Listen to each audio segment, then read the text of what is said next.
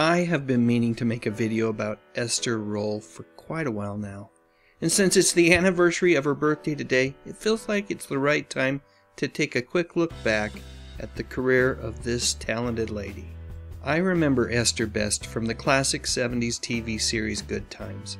That show was really something of an anomaly back in the 70s. On the show, you had a black family completely intact and trying to support each other the very best they could. Originally, the writers and Norman Lear himself wanted Florida Evans to be a mother raising her three kids on her own.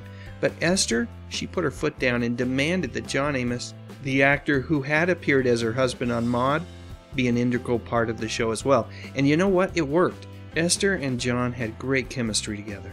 While I'm tempted to, I'm not going to spend much time talking about this feller today. This video is about Esther, not Jimmie Walker. Still, let me just say this. For one brief shiny moment, Jimmie Walker was about as funny and as cool as they got. But as fun as Jimmie was to watch on TV, I've got to say that Esther, along with John, well, they were the show's greatest strengths.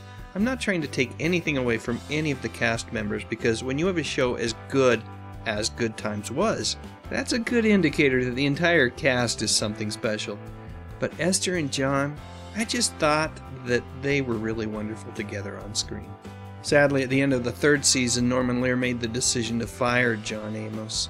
While I do think the decision was a bad one, it ultimately led to one of the most powerful moments in television history. And yes, it was all Esther Rolle.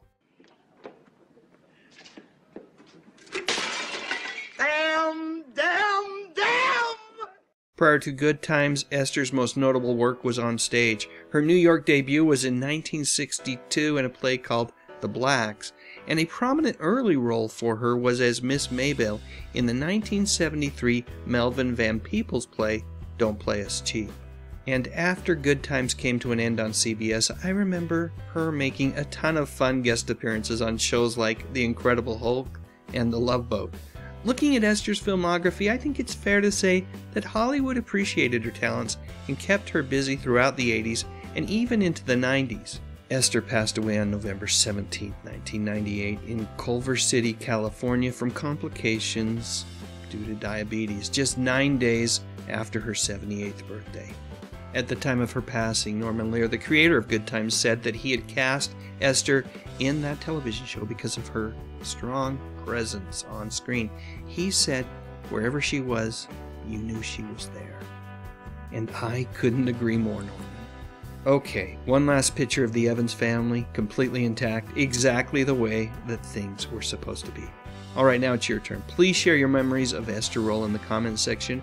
And while you're at it, if you found this video interesting, I would appreciate a thumbs up. And what the heck, why not even subscribe to my little YouTube channel? I talk about music, movies, and mostly TV from the 50s, 60s, 70s, and 80s. You know, the good stuff. But most importantly, and as always, thank you so much for watching.